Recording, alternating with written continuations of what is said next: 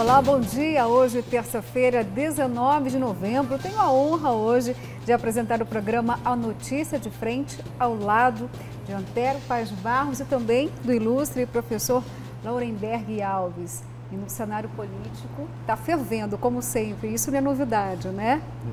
Temos muitos assuntos, inclusive um muito importante e interessante até. Nós vamos falar sobre desmatamento. Um assunto que ficou em pauta durante meses. O Brasil foi abalado pelas notícias, o presidente Jair Bolsonaro com declarações, colocado em xeque muitas vezes. E a novidade em relação ao desmatamento Antério professor, é que houve um crescimento, um recorde de 29,5% em 12 meses. Isso em relação a este novo período, ou seja, o desmatamento ainda não terminou. Parece que o presidente da República, junto com ministros, deve se encontrar, inclusive, nesta quarta-feira para retornar até com alguns programas que o presidente havia dito que seria extinto, né? justamente porque teriam gastos excessivos com pouca efetividade que não eram necessários. Mas agora parece que alguns programas vão voltar, Antero. Essa questão do desmatamento, bom dia, Luciana. Primeiro, é um prazer enorme tê-la aqui coordenando os trabalhos, né? Pela sua habilidade, pela competência, você que nos abrilhanta diariamente com suas reportagens e hoje coordenando aqui o programa Notícia em Frente. Bom dia, professor Lorenberg, bom dia ao telespectador e telespectadora. Eu acho que essa questão do desmatamento, ela é uma questão que o Brasil tem que colocar na sua pauta de forma séria. Ficar a favor do desenvolvimento sustentável, ou seja, defender a preservação do meio ambiente, é defender o desenvolvimento econômico do país. As pessoas não vão comprar de nós se nós não cuidarmos das nossas florestas. A população deve estar percebendo, inclusive aqui em Cuiabá, nós estamos, hoje é 19 de novembro, é isso? Exatamente. É, hoje é dia do milésimo gol do Pelé. Não sabia. 19 de novembro. Eu não lembrava de, mais disso, Antero. De 1969, Pelé fazia o milésimo gol. O goleiro era Andrada, o argentino goleiro do Vasco. Né? Como eu falei o, a data, eu acabei falando também da, da, da, da, Hoje é dia da bandeira. 19 de novembro é dia da bandeira. É, e na verdade é o seguinte, a gente percebe claramente que o governo Bolsonaro começou com um discurso que era um discurso que foi entendido como autorizativo para o desmate. E esse discurso prejudicou bastante nesses índices que a gente está vendo agora. Né? É, exatamente, é. aqui está dizendo que entre agosto de 2018 e julho de 2019, o Brasil bateu o recorde do desmatamento na Amazônia desta década. Segundo o sistema de monitoramento, o PRODES, que ofereceu o dado mais preciso consolidado e com nível de confiança superior a 95%. Bom, então a informação, a fonte é bastante importante, relevante. Foram destruídos, Antério professor, 9.762 quilômetros quadrados, o que confere então, Antério, um aumento aí de quase 30% em relação ao ano anterior. E claro que os estados, né, que praticamente mais patrocinam o desmatamento, configuram aqui o Pará, Rondônia, Mato Grosso e Amazonas. Só esses estados, eles contribuíram com 84% do desmatamento.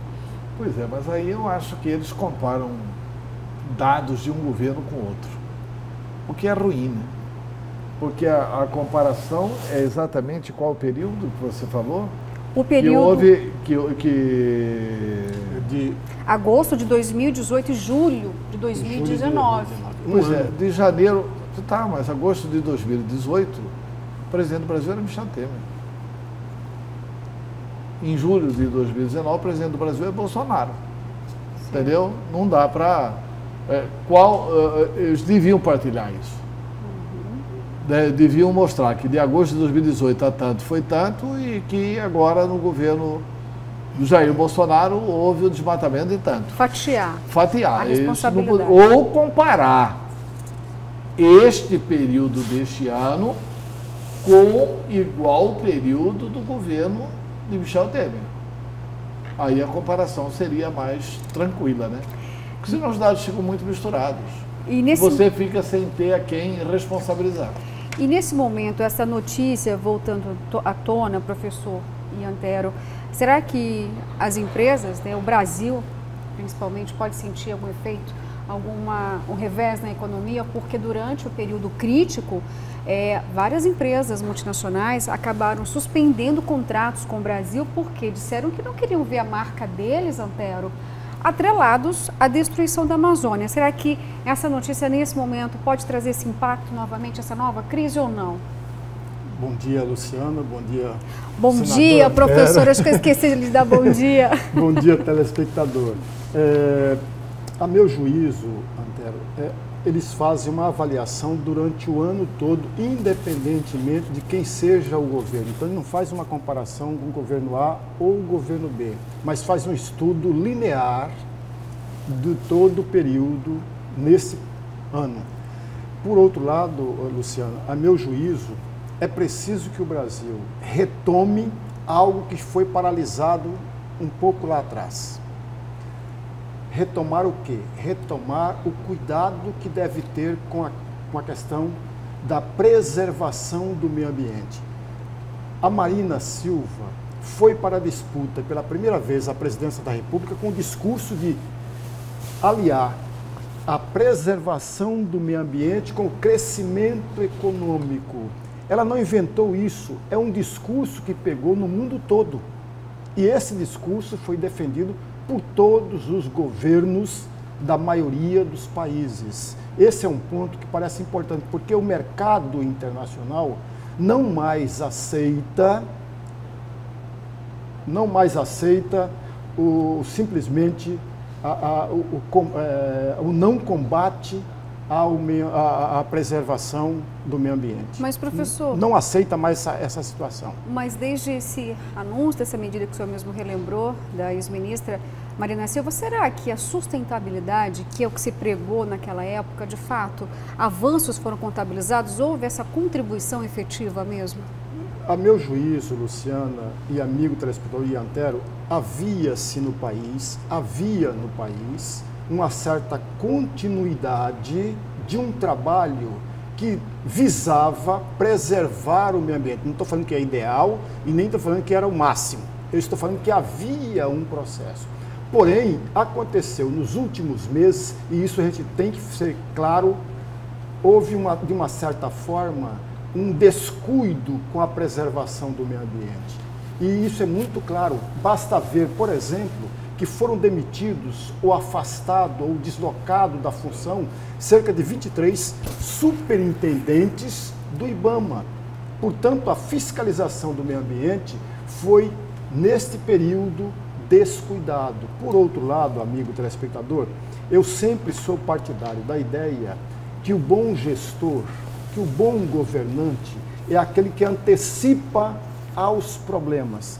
Todos nós sabemos letrado ou não, que está ou não no governo, todos nós sabemos que o período do mês de agosto, esse período, nós temos com muita frequência o, o, o, a queimada. Todos nós sabemos dessa história. Isso em todos os anos é o mesmo filme. Ora, se todo ano acontece a mesma, o mesmo problema, cabia ao governante, não importa quem seja, cabia ao governante o quê? antecipar os acontecimentos. O que foi feito? Nada. Deixou que os acontecimentos, para ser bem redundante, acontecessem. E aí está o problema. Nós tivemos um número muito grande, aliás, o INPE trouxe um quadro muito importante e que resultou na demissão, na exoneração de um dos seus diretores, coisa que não deveria acontecer nunca, em nenhum momento o que deveria ser, acontecer era simplesmente a preservação das cabeças pensantes ou dos estudiosos dentro do INPE. Foi exonerado apenas um, mas nós não, não podemos... foram exonerados mais. Mais de um, né? O fiscal que aplicou uma multa em Bolsonaro foi exonerado. Sim, mas o fiscal não é do INPE, né? Do IBAMA. Do IBAMA. Do IBAMA. Do IBAMA. Sim, mas é uma sinalização, né, professor? É verdade. É uma sinalização para quem está de fora, né? Uhum. É, teve essa sinalização, teve a sinalização da demissão do INPE, quer dizer, é uma briga clara contra a ciência. Exatamente. Eu não gosto dessa briga, acho que essa briga é, tem determinadas instituições do Brasil que são respeitadíssimas. O INPE era uma delas, até esse tipo de interferência deletéria. É, outra instituição respeitadíssima, a Embrapa. Verdade. O que a Embrapa anuncia como resultado de suas pesquisas serve de referencial para o mundo inteiro a respeito da questão do agronegócio. Né? Eu, eu, eu, eu vejo assim, eu vejo que a realidade está fazendo o Bolsonaro melhorar. A realização dos BRICS no Brasil foi um fator importante para o presidente Bolsonaro. Porque ele começou o governo, aliás, na campanha eleitoral, ele desdenhava a questão da China. Ele dizia que a China não queria fazer investimentos no Brasil, que a China queria comprar o Brasil e que isso ele não iria permitir porque a nossa, a nossa prioridade era a aliança com os Estados Unidos. Aí ele percebeu claramente o seguinte, que no mercado, nas relações exteriores, vale muito essa questão de amizade, de admiração, de ideologia. O que vale é negócio os Estados Unidos vetaram a presença brasileira na OCDE. E agora outros países estão vetando a presença brasileira na OCDE por causa, aí não do Bolsonaro, mas por causa do Supremo Tribunal Federal. Porque eles estão achando que o Supremo Tribunal Federal está se alinhando ao lado da corrupção. Né? Está favorecendo e de, favorecendo a corrupção e dificultando o combate a ela. Então, são coisas que as pessoas precisam ir avaliando. Hoje o Bolsonaro está feliz da vida com a relação com a, com a, com a China. A China está investindo, está colocando à disposição do governo brasileiro 100 bilhões de dólares para investimentos aqui em programas de infraestrutura. Ah, porque interessa ao Brasil fazer essas ferrovias? Interessa ao Brasil fazer essas ferrovias. Mas interessa à China que o Brasil faça essas ferrovias para exportar para eles. Os nossos negócios serão cada vez maiores com a China. A pecuária brasileira está tendo um boom. Por quê? Por causa da China. Porque a China está liberando é, o seu mercado para a compra da carne brasileira. Pergunta para o pecuarista brasileiro o que, que ele está achando do preço do bezerro, do preço do garrote, do preço do boi gordo, do preço da vaca gorda. Ele está achando maravilhoso. Isso é mercado internacional. E isso está sendo conquistado agora. Então, o Bolsonaro de hoje, se for colocado o microfone na boca do presidente Bolsonaro sobre a China, ele não vai falar mais o que falava na época da campanha eleitoral. A realidade está trazendo ele para uma outra situação. Aqui, não vamos ficar no exemplo da Marina, o senhor citou aí o exemplo da Marina. Uhum. A Marina é uma conhecida ambientalista brasileira. Ela era ligada ao seringueiro, como é o nome do seringueiro que foi assassinado lá? Chico Mendes. Chico Mendes. Ela era ligada ao Chico Mendes, é do Acre, defensora das florestas, defensora do meio ambiente e foi uma boa ministra do meio ambiente. E, e, e, e, quem vive em área urbana defende a questão ambiental. As pessoas querem um ambiente sustentável. Até porque é o seguinte, não chove em Cuiabá porque estão desmatando na Amazônia. Porque não temos, porque temos menos rios aéreos. Então, tudo bem que essa seja a posição da Marina. Mas essa é a posição hoje de alguém que já recebeu o título de motosserra de ouro. É a posição hoje do Blairo Maggi. Uhum. O, Blairo, o Blairo hoje está preocupadíssimo com esse desmatamento indiscriminado da Amazônia. E está preocupado seriamente. Não é que ele adquiriu uma consciência ecológica fantástica, extraordinária. Não. É que os negócios vão ser prejudicados. Como disse aqui a Luciana no início da sua ponderação. Só para complementar, Antério, que você está acabando de avaliar, ainda a reportagem aqui da Folha, professor, diz o seguinte, olha só, Ainda assim, a culpa pela alta da destruição da floresta amazônica não pode ser atribuída exclusivamente ao atual presidente, porque a tendência de aumento da destruição anterior é percebida desde o ano de 2012. Vem de encontro exatamente o que você acabou de avaliar em relação a isso. É isso. É isso? Bom, vamos aos destaques então. Professor, eu gostaria que o senhor pudesse falar qual vai ser o seu destaque, na sequência, Antero, o seu destaque. Luciano, Luciano Antero e amigo telespectador, ainda ontem o Tribunal Superior Eleitoral trouxe uma minuta, porque todos nós sabemos que o ano eleitoral começa exatamente com uma resolução baixada pelo, pelo Superior Tribunal Eleitoral. E nesta resolução do ano que vem, por se tratar de um ano eleitoral, o, o, o Tribunal Superior Eleitoral está trazendo uma minuta que, di, que acrescenta aí um artigo, o artigo 9, que fala exatamente da culpabilidade ou da responsabilização de candidatos por espalhar fake news. É exatamente esse o tema do meu comentário. Antero. Olha, o, o, meu destaque hoje vai ser a Grampulândia Pantaneira. Os militares já foram punidos e agora chegou a vez dos civis. A gente vai esperar que não haja uma morosidade da justiça brasileira, da justiça de Mato Grosso em relação a isso. Inclusive, um ex-secretário de Pedro Tax terá que usar tornozeleira eletrônica foi pedida a prisão dele. A prisão não foi concedida, mas o juiz da sétima vara criminal, o doutor Jorge Tadeu, determinou que ele use tornozeleira eletrônica, porque ele está tentando fazer, segundo denúncia da Polícia Judiciária Civil, obstrução de justiça.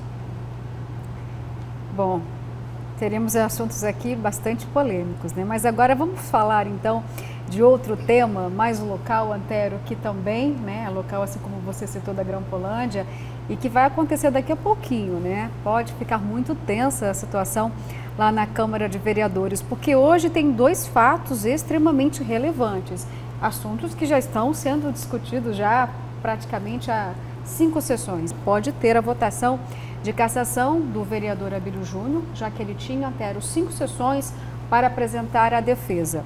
E a mesa diretora pode apresentar uma mensagem modificativa do projeto que prevê o aumento salarial do prefeito da capital, Emanuel Pinheiro. A mesa, o presidente já tinha dito que é, a mudança, a emenda que pode ser apresentada é que retira o aumento salarial do ano de 2021, que elevaria o salário do prefeito para 32 mil reais. Situação delicada, é, sobretudo, se nós observarmos que não há, pelo menos isso eu não vi, talvez a Luciana tenha é, muito mais dados e muito mais conhecimento a respeito deste tema do que eu, mas eu não vi em nenhum momento é, é, uma discussão dentro do plenário da Câmara Cuiabana discutindo a questão qual é o impacto deste aumento na folha de pagamento cuiabana. Qual é o impacto deste aumento nos cofres cuiabano. Eu não vi em nenhum instante essa discussão. E, a meu juízo, é, falha e falha grotescamente os parlamentares cuiabanos com relação a este detalhe. Professor, seriam 10 milhões de reais o impacto, e isso porque o reajuste seria retroativo desde maio. E também nessa mensagem, Antero, do projeto feito pela mesa diretora, prevê o pagamento de férias e 13º salário ao prefeito. Então, a princípio, a conta que fizeram, uhum. né, inclusive foi o próprio presidente da comissão de orçamento, o vereador Marcelo Busic, que chegou a essa conclusão. O impacto seria de 10 milhões de reais. Olha, primeiro que é extremamente inoportuno. Né? Exatamente. O Tribunal de Contas já emitiu parecer dizendo o seguinte, que as contas da Prefeitura de Cuiabá estão ultrapassando o limite, já, já ultrapassaram o limite. Nós tivemos ontem aqui a entrevista do prefeito Emanuel Pinheiro, que não sabe explicar bem esse rebaixamento da nota da Prefeitura de Cuiabá, de B para C, né, que, que é uma coisa assim perigosíssima, e, e bem como a variação do índice Firjan, que Cuiabá tem zero, nota zero, na possibilidade de pagar os seus fornecedores. O que, que vai começar a acontecer com a Prefeitura de Cuiabá? As pessoas que fazem obras para a Prefeitura de Cuiabá vão começar a ter dificuldades de receber. Vai medir hoje, vai receber daqui a 60 dias, vai ter aquele tradicional embarrigamento, vai ser uma coisa assim que as contas começam a ser é, deterioradas da administração pública. Aí vem a Câmara Municipal de Cuiabá preocupada em aumentar o salário do prefeito. O prefeito já é um privilegiado, gente. O prefeito já ganha 25 mil da Assembleia, mais 20 e poucos mil da Câmara, já ganha mais do que o ministro do Supremo Tribunal Federal, sem poder. Esse aumento não pode ser concedido a ele. Basta uma ação popular para barrar esse aumento na justiça. Mas, na verdade, eles querem, não é dar o aumento para o prefeito. Sabe o que, que é isso? Do mesmo jeito que o Supremo Tribunal Federal perdoou, perdoou não, é, estabeleceu que bandido rico não pode ser preso, né? não é bem essa a definição. Eles sofisticam lá de que, olha, questão da precisão de segunda instância, a presunção da, da, da, da, da inocência, mas isso não é analisado para todo mundo, né? Isso é analisado para alguns. Né? Não é analisado para todo mundo, é analisado para quem tem bons advogados. E quem tem bons advogados são os bandidos de colarinho branco. Do mesmo jeito que o Supremo lá decidiu em favor dos bandidos ricos, a Câmara aqui está decidindo em favor dos que têm altos salários. Esse impacto é de 10 milhões de reais, a prefeitura tem mais de 10 mil funcionários, porque eles estão concedendo um aumento para Emanuel para poder aumentar salário de fiscal de renda, fiscal de tributos, procurador do município. São os maiores salários do município. 400 pessoas seriam beneficiadas. 400 pessoas. Ou seja, eles, entre, entre aposentados e pensionistas e da ativa, eles querem aumentar o salário só de quem ganha acima de 200 mil reais. Aliás, de quem ganha acima de 20 mil reais por mês. Até porque é para essa turma que eles estão aumentando o salário. É para isso que serve a Câmara de Cuiabá. Para agente comunitário de saúde, a Câmara diz não. Para professor, a Câmara diz não. Para os salários pequenininhos, a Câmara diz não. Aí, para os príncipes do erário, que são os que ganham mais, o único jeito de dizer sim é aumentando o salário do prefeito. E o prefeito aceita esse jogo. Por quê? Porque deu palavra, porque se comprometeu, porque prometeu para esses bacanas príncipes do erário que iria dar aumento para eles. E eles estão tendo coragem para tudo. Mas já... Soltar uma onça virgem aí, eu acho que eles vão lá aumentar a onça. Aliás, a Câmara Cuiabana foi provocada pelo sindicato desse funcionário. Não foi a Câmara que, é, que, que, que é. por livre iniciativa, não. Foi provocada. Palmas para sentido. o novo sindicalismo brasileiro. Né? Deve ser o sindicato dos fiscais, aí tá certo. Uhum. Porque é só para os fiscais, sindicato dos procuradores, beleza.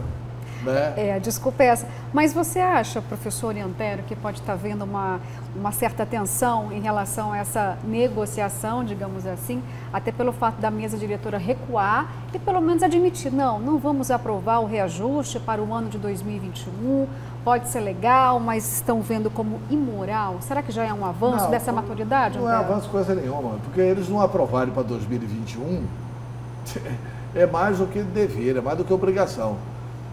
O que, que a lei diz? Que você aprova salário do prefeito no final do ano legislativo. Até aumentar o salário do prefeito, estaria absolutamente normal se Cuiabá tivesse com as finanças em dia. Se eles tivessem tratado bem dos agentes comunitários de saúde, se eles tivessem resolvido o problema das pessoas que dão aula, dos professores. Quanto ganha um professor? Até quando que nós vamos assistir que educação é prioridade, mas o professor ganha.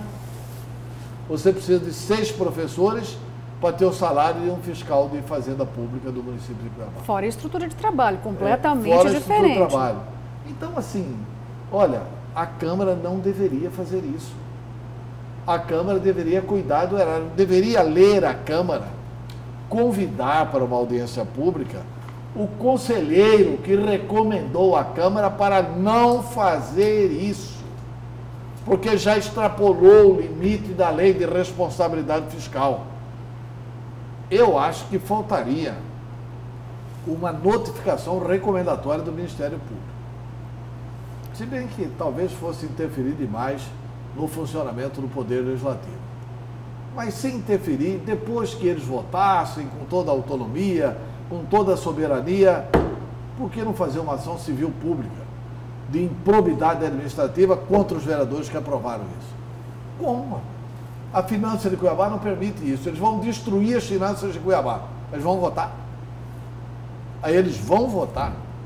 Não pode exercer o mandato de vereador estabelecendo que aquela casa é uma casa não para fazer o debate que a sociedade quer, é uma casa para promover gastança de dinheiro público. Não pode ser assim. Professor? É. E não discute as questões é, relacionadas aos interesses e anseios da sociedade. Se fossem fazer uma pesquisa provocando cada um munícipe cuiabano a respeito desse reajuste, eu diria com toda a honestidade do mundo, a sociedade não aprovaria esse reajuste, pelo impacto que vai ocorrer na folha de pagamento, pelo impacto aos cofres públicos. Por outro lado, não se pode também perder de vista que Cuiabá, apesar de ter pontos positivos na administração Manuel Pinheiro, tem erros também registrados. A gente não pode perder de vista. E não pode também perder de vista que, se nós visitarmos cada um dos bairros da periferia, nós vamos encontrar muitas deficiências em cada um desses bairros. Isso significa dizer o quê? Trocando em miúdos, que cada um dos parlamentares cuiabanos teria muito mais, mas muito mais, dados relevantes para ser discutidos, que são os anseios de cada bairro da cidade, e não o reajuste do prefeito Cuiabano. Mas aí, professor, os vereadores estariam fazendo o papel de casa, que é a fiscalização. E tem um vereador lá fiscalizando, e o que, que pode acontecer daqui a pouquinho com ele? Ser caçado. Não vamos esquecer que também hoje tem né, o, análise do pedido de cassação. Análise do pedido de cassação não encerra né, a fase de cinco sessões em que o vereador Abelio Júnior tem o direito de se defender né, da, do processo que ele sofre na comissão de ética e pelo fato dele ter fiscalizado a saúde, inclusive foi um dos responsáveis por ajudar na operação Sangri que colocou o ex-secretário de saúde na prisão. Né? Então, por ele cumprir um papel aí fiscalizador tão importante quanto o senhor citou, vamos falar então da Cuiabania, da comunidade. A gente sabe que a capital aqui tem um dos piores índices de desenvolvimento social a terra do agronegócio, que é uma vergonha. Nós vamos aos bairros, a gente que é repórter, a gente consegue percorrer todos os cantos dessa capital. E por onde a gente vai, não existe hoje algum local que é completamente adequado. Infelizmente, é difícil a gente sentir um grande orgulho, não dos cuiabanos. Os cuiabanos são trabalhadores, um povo forte que suporta, inclusive, os, de, os desmandos políticos que aqui acontecem. E quando o senhor cita que o papel da Câmara seria fiscalizar os bairros, isso está faltando, professor. A gente não vê isso sendo cumprido à risca. Aí junta esse processo aí de cassação contra um vereador que está fiscalizando. Não estou defendendo, estou apenas colocando em xeque o que acontece de fato na Câmara de Vereadores. O interesse deles é para onde? É para a população ou para eles? Para os partidos? Para as articulações partidárias? Ou para os seus cabos eleitorais, que o ano que vem, não nos esqueçamos, ano que vem é ano eleitoral e não se tem mais e não se permitirá mais a aliança para os candidatos a proporcional, ou seja, para a Câmara de Vereadores. Isso dificulta o trabalho e a campanha de alguns candidatos à Câmara Cuiabana? Eu quero manifestar o seguinte. É, primeiro que para caçar um vereador tem que ter dois terços dos votos. Tem que ter 17 votos. Eu acho que a Câmara. Hein? Dificilmente. Eu acho que a Câmara não terá 17 votos. Eu acho que a Câmara até vai mandar arquivar esse processo. Porque, olha, o voto é nominal. Vai ficar bom para a sociedade brasileira saber quem é que votou pela cassação do Abílio. Não é que Abílio seja o santo Abílio dos pobres, não. O Papa criou a Santa Dulce dos pobres. E a Câmara não tem o poder de canonizar o Abílio, né, de criar o santo Abílio dos pobres, não é isso. Mas o Abílio, a Câmara está revoltada com ele. A Câmara não. Alguns vereadores estão revoltados com o Abílio pelos acertos que ele fez no mandato dele, pela fiscalização que ele fez na saúde e denunciou o roubo de milhões de reais, mais de uma centena de milhões roubados. Está aí a, o, o Poder Judiciário mandando arquivar 14 milhões de reais da saúde achados num motel durante a campanha eleitoral. Para beneficiar quem? Possivelmente? É, é, há uma suspeita, né? Mas o, a Polícia Federal não chegou à conclusão de que seria beneficiado filhos do prefeito. Entendeu? 14 milhões de reais encontrados num hotel. Dinheiro que era da saúde. Esse, esse dinheiro do, do, do da Operação Sangria, ah, pela madrugada, presos o secretário e o subsecretário. Por quê? Pela denúncia do Abílio, pela fiscalização da Câmara. Então, raramente quando funciona, porque não é normal a Câmara fiscalizar bem. Uhum. Raramente quando funciona a fiscalização da Câmara, olha, isso é falta de decoro. Falta de decoro foi roubar a saúde. Isso que foi falta de decoro. Se bem que o Supremo veio agora e deu uma mensagem interessante, né? Olha, roube milhões. Não roubem pouco, né? Roubem milhões se roubar milhões, vocês serão perdoados. Antero, que bom que você está com boa fé no que pode acontecer na Câmara de Vereadores daqui a pouco. Eu não sei não, eu queria concordar com você, mas... Não, olha, eu, eu tenho, uma, eu, eu tenho uma convicção assim, primeiro que é não difícil haverá. arrumar 17 votos, primeiro. Segundo, que os vereadores não vão querer expor de votar a favor da cassação do Abílio, sendo que não tem nada concreto para tirar o Abílio da Câmara. Falar que aqueles debates da Câmara são falta de decoro, ah, pelo amor de Deus. Teve vereador que chamou outro de viado na Câmara. Que é muito mais falta de decoro do que isso. E nem isso eh, propiciou que alguém perdesse o mandato na Câmara Municipal de Cuiabá. Então, assim, eu, eu não acredito, porque, ah, mas o processo é só um processo político alto lá o processo é um processo político, mas você não pode, porque eu tenho maioria, agora eu vou sufocar a minoria e vou determinar a cassação do mandato da minoria. Isso é ditadura. Isso é ditadura. E isso aí vai ser reposto pelo Poder Judiciário. Se o Abílio sair, ele volta pelo Poder Judiciário. Pode demorar um tempinho, mas volta pelo Poder Judiciário e a Câmara vai apanhar mais do que cachorro de bugre. E não vamos poder chamar de casa dos horrores, né? Bom, mas daqui a pouquinho a gente vai conseguir saber exatamente né, tudo o que de fato aconteceu lá na Câmara de Vereadores. Na semana passada já tinha até o movimento pró-abílio. Vamos ver como será hoje a situação lá. E agora nós vamos para um rápido intervalo, voltamos daqui a pouquinho.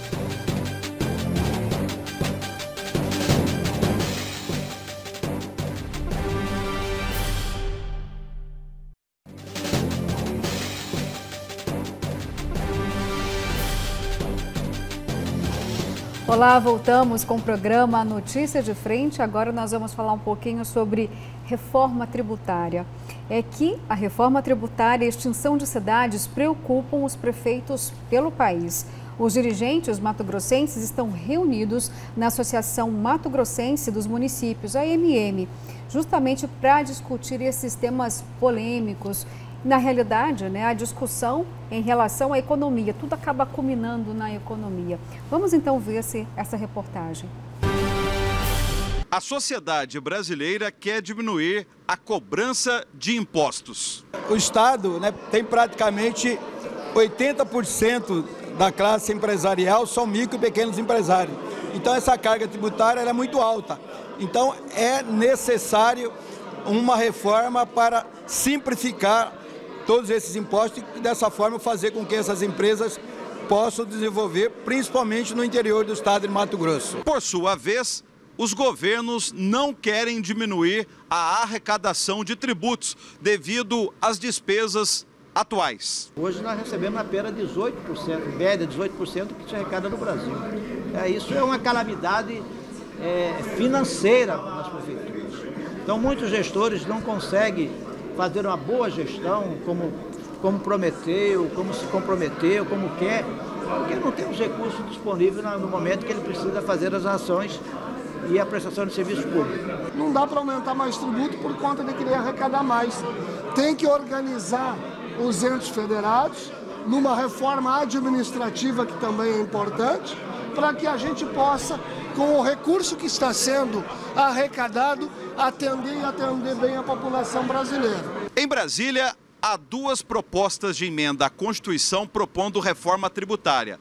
No Senado da República tem a PEC 100, na Câmara Federal, a PEC 45. O economista Bernard App, que foi secretário executivo do Ministério da Fazenda nos dois governos Lula, é o consultor da PEC 45, que foi apresentada na Câmara pelo deputado federal Baleia Rossi, do MDB de São Paulo. Ele explica os princípios da reforma tributária prevista na PEC 45. No agregado, nós estamos falando de um aumento do PIB potencial de 10 a 20 e poucos percentuais, além do que ele cresceria no horizonte de 15 anos por conta dessa mudança que está sendo proposta. Nós estamos falando que em 15 anos cada brasileiro vai poder estar 10 ou 20% mais rico do que estaria sem a mudança da reforma tributária. É uma mudança muito forte. A PEC 45 propõe a unificação de cinco impostos. São três federais: IPI, PIS e COFINS, o estadual ICMS e o municipal ISS. Por sua vez, haveria um único tributo, o IBS, Imposto sobre Operações de Bens e Serviços. A proposta é unificar três tributos federais, que são o PIS, a COFINS e o IPI, o ICMS, que é estadual, e o ISS municipal, e um único imposto sobre bens e serviços, chamado IBS. É, o IBS é um imposto não cumulativo que segue as características dos melhores impostos sobre valor adicionados do mundo. É, essa mudança é muito importante porque os tributos atuais têm distorções que prejudicam muito o crescimento da economia brasileira. Mas há que considerar algumas situações. Por exemplo, Mato Grosso é um dos estados brasileiros que não cobra ICMS em relação a produtos primários que são vendidos no país e exportados para outros países. Em compensação, o Estado recebe do governo federal o tal FEX. Isto está previsto conforme as regras da Lei Candir. Com a cobrança, com o novo imposto, o IBS, como ficaria a situação de estados como Mato Grosso? Mato Grosso é um estado que produz muito e consome pouco. Nós temos hoje é, em torno de, 4, de 3,4 milhões de habitantes, é uma baixa densidade populacional. Se nós for tributar só no destino, certamente Mato Grosso perde, porque nossa capacidade de consumir é muito menor do que a nossa capacidade de produzir. Então nós praticamente teríamos uma grande perda do ICMS se essa proposta for aprovada como está, sem a criação de um fundo de compensação para dirimir, para corrigir essas dúvidas e principalmente essa distorção dos estados que têm baixa capacidade de consumo. Por sua vez, estados como Mato Grosso importam a maioria dos produtos industrializados. E aí há aquela situação da geração de crédito tributário. Com o novo imposto, o IBS, como ficaria essa situação de créditos tributários, de substituição tributária na área do ICMS? A ideia é fazer política de desenvolvimento regional não com benefício fiscal, mas com recurso de um fundo de desenvolvimento regional, que vai ser criado junto com as mudanças no sistema, no sistema tributário. Uh, e da mesma forma, quando Mato Grosso vende produtos agropecuários para outros estados, se for exportação, na verdade não é tributado, porque não deve ser, uh, e se for para uma venda para outro estado, fica para outro estado. Aliás, torna desnecessária essa discussão da Lei Candir, na verdade, porque nenhum estado, hoje um estado que exporta produto, como é o caso de Mato Grosso, que exporta produto agropecuário, muitas vezes ele comprou um insumo que veio tributado e o tributo foi recolhido em outro estado. Então ele tem que devolver para o exportador o imposto que ele não arrecadou. Com esse modelo de tributação no destino, o Estado não tem que devolver nenhum imposto para exportador que não tenha sido recolhido no próprio Estado. Diante das propostas e, ao mesmo tempo, das críticas à reforma tributária, o que fazer? Esse é o aspecto que temos que chegar à conclusão. Por exemplo, hoje nós temos a Lei Candir né, no Brasil, que para os estados exportadores de matéria-prima, como é o caso de Mato Grosso, produtos semi-elaborados, é extremamente importante a compensação, ou seja, o fundo de compensação das exportações, que o governo federal não vem cumprindo. Então, o fato do governo federal não cumprir, isso tem prejudicado estados como Mato Grosso. Estados produtores como Minas Gerais e Pará, principalmente de minérios, a circunstância é diferente, porque esses minérios estão ali, riqueza que Deus já entregou. Então aqui não, aqui precisa produzir, precisa movimentar. Então por isso é extremamente importante que nessa reforma tributária a gente não cause uma guerra tributária. Com apoio técnico de Juarez Emílio e imagens de Edilson Paulo, Antônio Carlos Silva para a Notícia de Frente. Obrigada, Antônio. Bem, o encontro municipalista aconteceu nesta segunda-feira e acontece ainda hoje na AMM. Traz essa importante discussão, as reformas administrativa e tributária. É. Parece que ninguém confia em reforma nesse país, Antero. Acho até, não sou especialista, mas que a reforma é, tributária deveria ter sido primeiro do que a reforma da Previdência. Mas, enfim, já aconteceu e agora a reforma tributária, é, o IBS. Agora é a página virada da Previdência, ainda bem que está aprovada a Previdência essa é a mais difícil reforma de ser aprovada. Pelo seguinte, o Bernardo Api, que é o economista que falou aí, ele falou o seguinte: olha, agora não vai mais pagar para o Estado que está mandando a mercadoria, etc. e tal, o que consumiu em Mato Grosso, paga-se em Mato Grosso. Ou seja, isso pode passar para o telespectador mais desavisado a informação de que ah, então vai ser bom para Mato Grosso. Tudo que, for, tudo que for consumido aqui vai ser pago aqui. Nós somos o maior produtor de grãos do Brasil. Nós consumimos aqui? Não. Então vai ser tributado só em favor dos outros estados. Nós somos o maior produtor de carne do Brasil. É consumido aqui? Não. Então vai ser tributado em favor de outros estados. E é uma equação simples você vai concentrar o dinheiro do imposto nos estados mais populosos do Brasil. Mato Grosso tem 3 milhões e 400 mil habitantes. Quantos habitantes tem São Paulo? Quer dizer, aí vai, vai tributar no consumo. Tá, você vai consolidar São Paulo como o estado que mais arrecada. Tem que buscar uma equação diferenciada. Nesse ponto, o governador Mauro Mendes está coberto de razão. Ele falou: opa, tem que ter um fundo de compensação aqui. Se for tributar em cima do consumo, nós temos 960 mil quilômetros quadrados, uma baixíssima densidade demográfica e 3 milhões e 400 mil habitantes. Vai faltar dinheiro para Mato Grosso.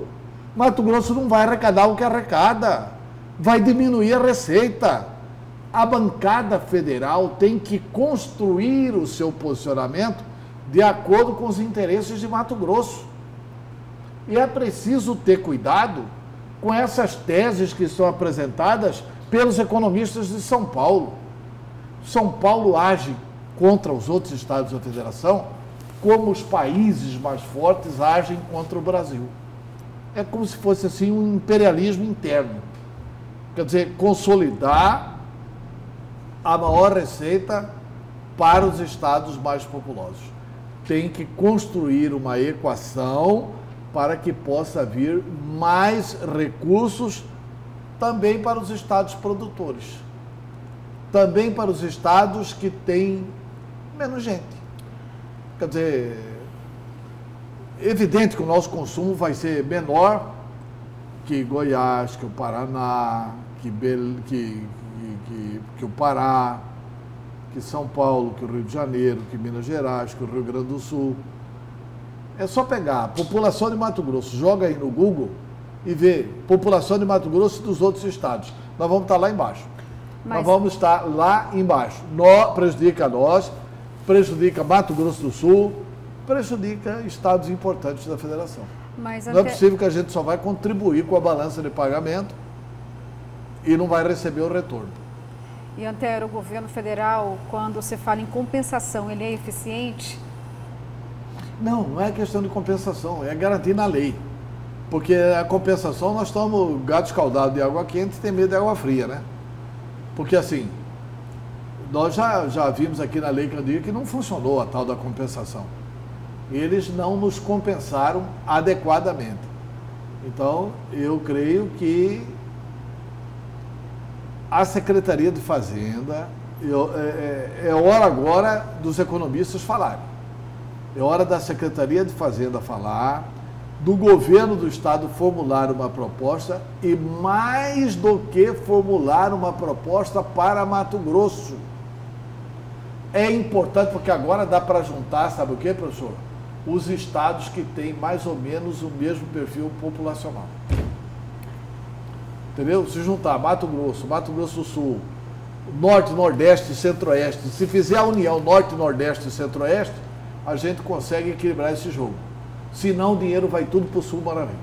Aqui, aqui o presidente da Confederação Nacional dos Municípios, o Glaudemir Haroldi, ele disse que é, ele que é o moderador dos debates, inclusive, ele disse que o movimento municipalista quer evitar perdas no orçamento, considerando que a maioria dos municípios já não tem mais margem para perder. Por isso, né, para contribuir com os debates, a CNM deve apresentar oito emendas, Antero, justamente para modificar essas questões que você todo elencou aqui para gente. Pois é, mas aí é, essa é uma questão dos municípios.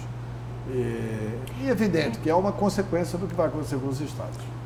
Luciano Antero e amigo telespectador, eu tenho muita dificuldade, mas muita dificuldade de encarar e de ver como reforma tributária apenas a simplificação do tributo ou do encargo. Eu tenho muita dificuldade porque, a meu juízo, não o é. Simplificar tributos não significa necessariamente que seja uma reforma tributária. Por outro lado, por outro lado, nós temos uma situação muito complicada e não é obra única e exclusivamente do, do governo atual, mas sempre foi dessa forma. A União sempre transferiu serviços para cada um dos municípios e não distribuiu na mesma proporção grana para custear esse mesmo serviço. É exatamente aí que tem problemas seríssimos principalmente a municípios pequenos, a municípios que não têm uma arrecadação própria maior. Além de tudo isso, amigos, é preciso também observar a questão da Lei Candir. Você tem uma Lei Candir que ela não impede e nem proíbe, evidentemente, a taxação de produtos para exportação. Quem proíbe isso é a Constituição Federal. Esse é um ponto que deve ficar muito claro. Por outro lado. Na reforma, só um parênteses. Na reforma do governo, só para colaborar com o seu uhum. raciocínio, eles estão estabelecendo que o Estado pode tributar. Pode tributar até 3%. Mas aí tem que mexer com a própria Constituição, né? Sim, mas já está proposto uhum. lá pelo, pelo, pelo governo. Não. E eu não sei se tem que mexer com a Constituição. Eu acho que é a lei Candir mesmo que proibia cobrar imposto de exportação. Não, não. A, a, a, a taxação de produtos que vai para, exportação é proibida pela Constituição. Se não me falha a memória, é o artigo 110 da Constituição, a linha A, se não me falha a memória. Talvez eu esteja equivocado no artigo, mas é a Constituição que proíbe. Com relação à questão da Lei Candir, é bom deixar muito claro que essa compensação deveria ser oficializada não é. Tanto é verdadeiro que na, no ano que passou, não foi recebido por parte de Mato Grosso e por outros estados esta mesma compensação. E a compensação de 2019 também não foi. Por, por duas razões simples. Não foi acrescentada no orçamento do governo federal esta compensação. E aí o erro não é apenas do governo federal, mas é sobretudo das bancadas de cada um desses estados entre aspas, produtores, porque eles não fizeram nada. Só reclamam e só vem a público depois de todo o problema que, que aparece. Mas durante, não lembra de discutir dentro do orçamento encaminhado pelo governo esta esse repasse para os estados. Isso significa dizer, e aí por outro lado, também não se pode perder de vista, e o Antero foi muito feliz. Quando existe uma questão ou um problema que aflige o Nordeste, as bancadas do Nordeste, quase todas, Luciana, se unem em prol de um único objetivo. Nós aqui no Centro-Oeste não fazemos isso. Não se unem as bancadas do Mato Grosso, do Mato Grosso do Sul, do, do, do, de, Goi, de Goiás, não se unem. Quando nós temos objetivos comuns, não são todos, mas nós temos objetivos comuns, e a exportação é uma delas. O agronegócio é uma delas. Portanto, as bancadas deveriam estar muito mais próximas, muito mais juntas para discutir uma saída que venha beneficiar o nosso Mato Grosso, o Mato Grosso do Sul e Goiás, sobretudo. Porque os outros estados, como por exemplo São Paulo, Minas Gerais, têm uma bancada federal altíssima. São Paulo tem 70 deputados federais. Veja, 70 deputados federais, Luciana, contra 8 deputados federais de Mato Grosso. Veja a diferença. Então é preciso que nós tenhamos a clareza de que nós precisamos juntar estas forças, como faz e faz muito bem as bancadas do Nordeste, quando tem um único problema e um único objetivo. Antero, será que a nossa bancada ela comete o pecado da omissão ou não? Não, não. Eu acho que a bancada precisa de assessoria técnica do governo. Eu acho que aqui a responsabilidade maior é do governo. A bancada tem boa vontade de ajudar. O artigo 110 não é, professor. Já entrei aqui, o artigo 110 é da organização judiciária. Uhum. E, e, aqui no São Google, estou me recorrendo aqui ao São Google. Ele está falando da lei Gandir. Tá aqui, a agronegócio calcula a perda de 40 bilhões por ano com eventual fim da lei Candir. A lei, quer dizer, a lei Candir, isenta de ICMS exportações de produtos, como carne é, eu me lembro bem que o Mato Grosso cobrava isso antes da, da, da, da Lei Candir. E deixou de cobrar quando veio a Lei Candir. Então o agronegócio calcula a perda de 40 bilhões. Eles não querem porque eles vão passar a pagar imposto. Exatamente. Mas é. é e como a Lei Candir está chegando ao fim, né, há um movimento na Câmara dos Deputados para ressuscitar a Lei Candir. Mas está chegando ao fim, o governo federal não vai apoiar a Lei Candir a ressuscitação da Lei Candir, e sendo assim, o Estado poderá cobrar imposto de até 3% na proposta tributária. E aí a proposta é de lei. É lei Candir, não é, não é Constituição. Amanhã... O artigo 110 trata da questão da organização do Poder Judiciário. Amanhã, Luciana, me cobre que eu trarei na Constituição uhum que proíbe que eu coloquei aqui, proibição de impostos de, de produto de exportação. Foi o que eu coloquei aqui. Eu, eu, vou trazer amanhã. Eu coloquei aqui. Perfeito. Então a gente Artigos termina... que proíbem. a gente continua esse embate é. aqui amanhã, amanhã, então, porque agora, professor, chegou a hora do seu destaque. Luciana, Antero e amigo telespectador, todos nós sabemos que o início do ano eleitoral e no aspecto eleitoral vem uma resolução do Tribunal Superior Eleitoral, que não é apenas o cronograma do ano eleitoral, mas estará nesta resolução regras, normas para serem cumpridas ao longo deste ano eleitoral. Pois bem, neste final deste ano, há uma discussão dentro do Tribunal Superior Eleitoral que deve resultar em dezembro, no começo de dezembro, uma discussão e a aprovação de um artigo nesta resolução que é muito interessante. Este artigo fala exatamente de coibir, de proibir a disseminação, a divulgação de informações inverídicas. Se nós observarmos esse item, nós vamos perceber aí uma grande preocupação do Tribunal Superior Eleitoral para a questão das chamadas fake news. E é verdadeiro, essa preocupação deve existir mesmo.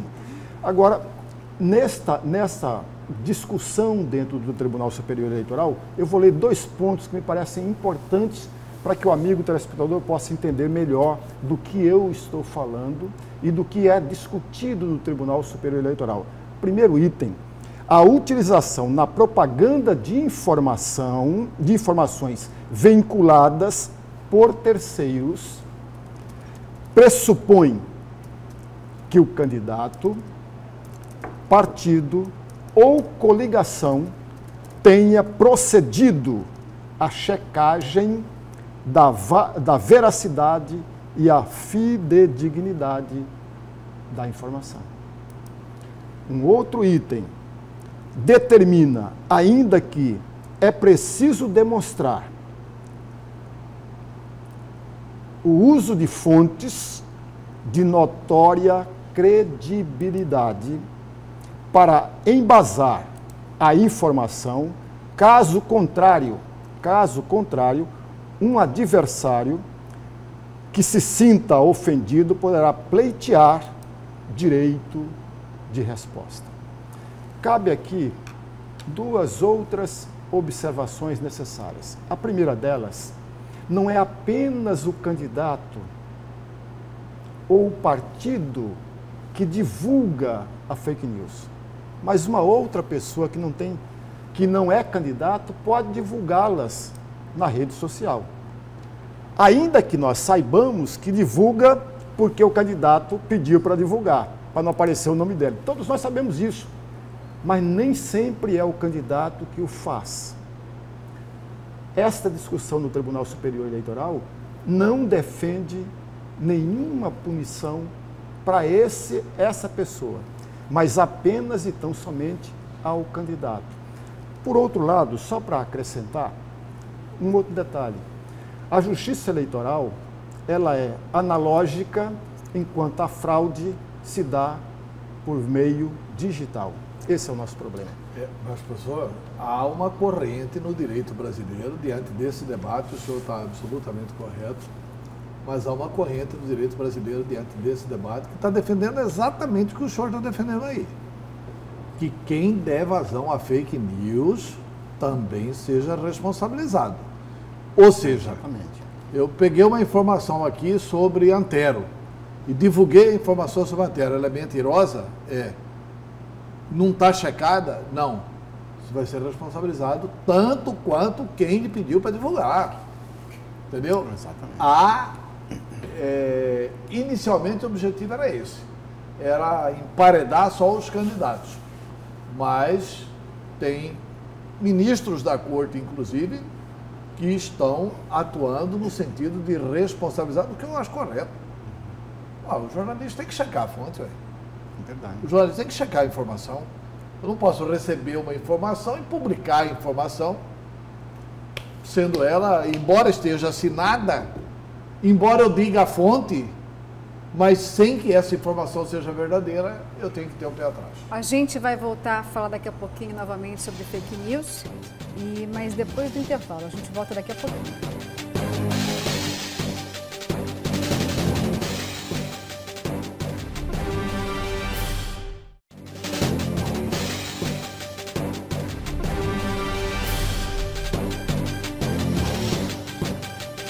Voltamos com o programa Notícia de Frente. A gente falou bastante aqui sobre a Câmara de Vereadores de Cuiabá, mas agora a gente vai viajar um pouquinho. Vamos lá para Várzea Grande, porque lá também tem um projeto polêmico, é isso mesmo.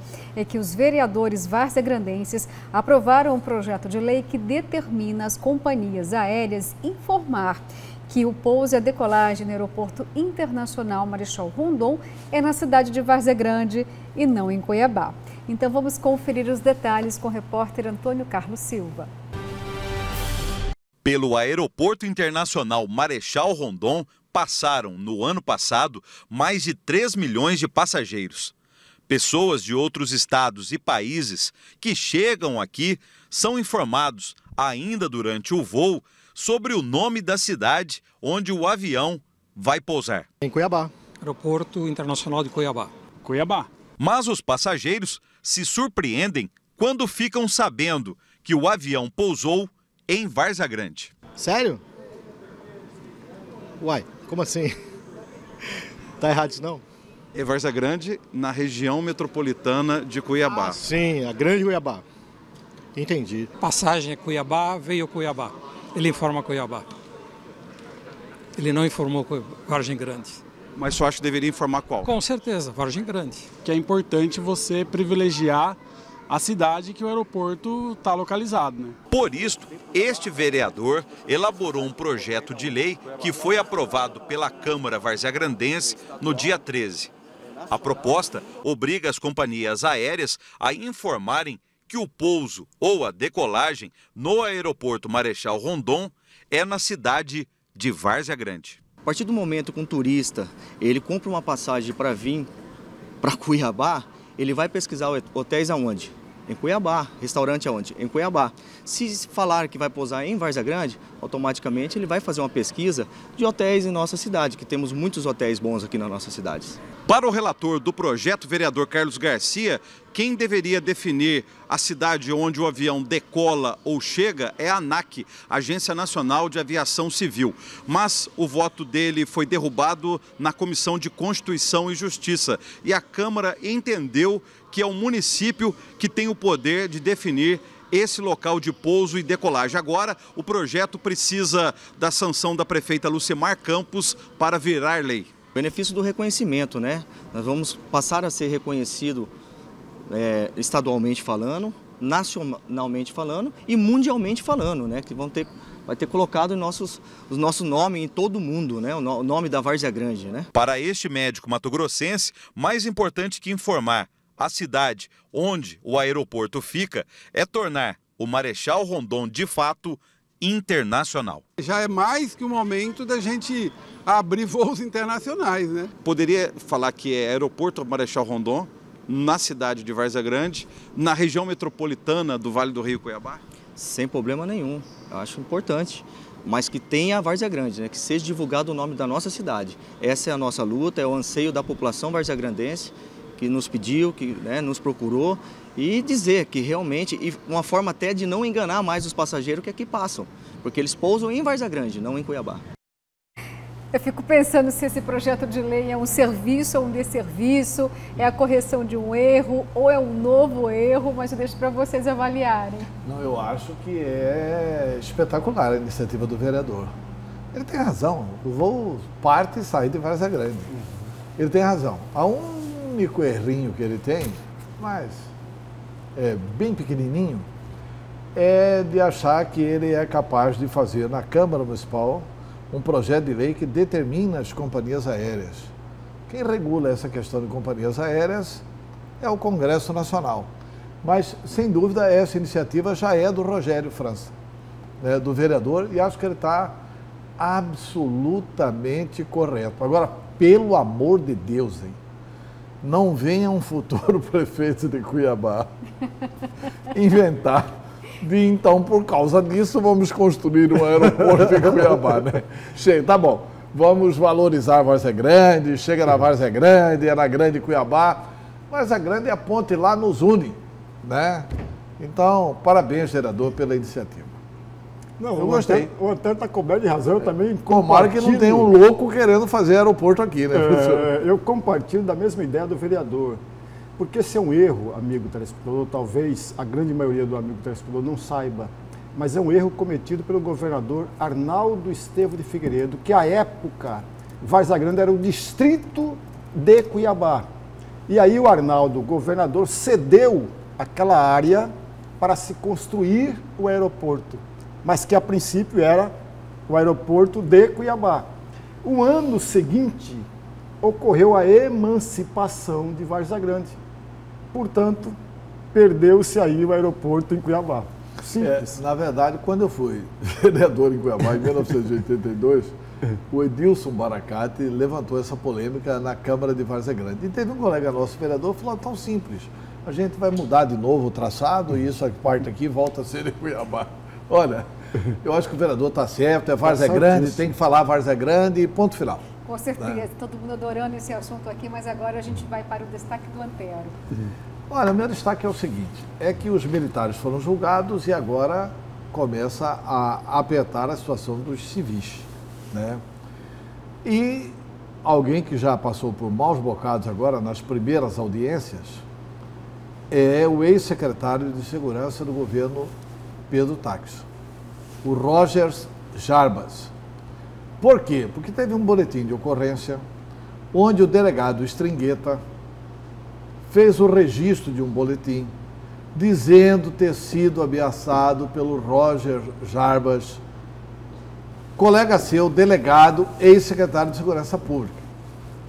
Porque só para o telespectador se lembrar, o delegado Stringueta foi um dos responsáveis pela investigação da Grampolândia Pantaneira e que indicou Roger Jarbas como dando guarida à não apuração